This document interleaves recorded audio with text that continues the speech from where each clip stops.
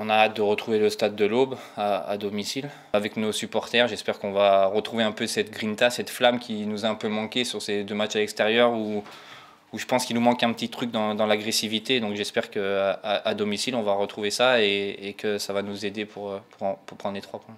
On, joue, on joue pas mal, mais on run un peu, on est un peu sur le même rythme. Et, euh, il faut faire plus pour, pour espérer rester dans, dans, le haut du tableau. On a vu que ce n'était pas suffisant sur, euh, sur ces deux premiers matchs. Donc euh, à domicile, on a, on a hâte d'être sur, le, bah, sur le terrain pour, euh, pour prouver qu'on est capable de mieux. C'est un peu, un peu un ressenti un peu général où on prend trois buts à Clermont, on a aussi, là on a encore pris un but, on a un peu perdu de cette solidité, solidité défensive qui faisait notre, notre force.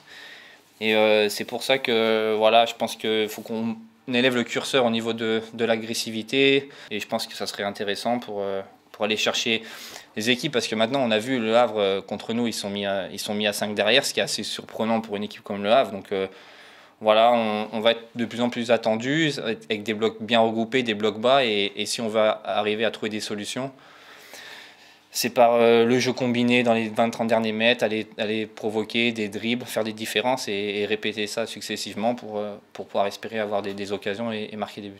Au niveau comptable, on, honnêtement, on n'en parle vraiment pas. Là, le plus important, c'est de refaire tourner le, bah, compteur, oui, au niveau des points, mais on ne regarde pas les autres. C'est nous, on, a envie de franchir cette barre des 40 points. Donc, on sait qu'en prenant ces 3 points, on passera à 41.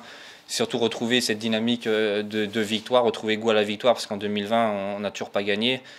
Et là, d'autant plus à domicile, avec une, série de matchs. Mardi, on ira à Lens. Après, on recevra encore Châteauroux. Donc, euh, on a envie de, gagner ce premier match en 2020 pour, euh, pour recréer une dynamique bah, c'est sûr, comme tous les joueurs, j'aimerais avoir euh, plus de temps de jeu. Après, voilà, moi je profite euh, au quotidien. Je suis là aussi dans un rôle de, leader pour encadrer le groupe, pour encadrer les plus jeunes et ça se passe très bien. On a vraiment un, super groupe, une euh, très bonne mentalité. Donc voilà, après, moi je profite au quotidien des entraînements.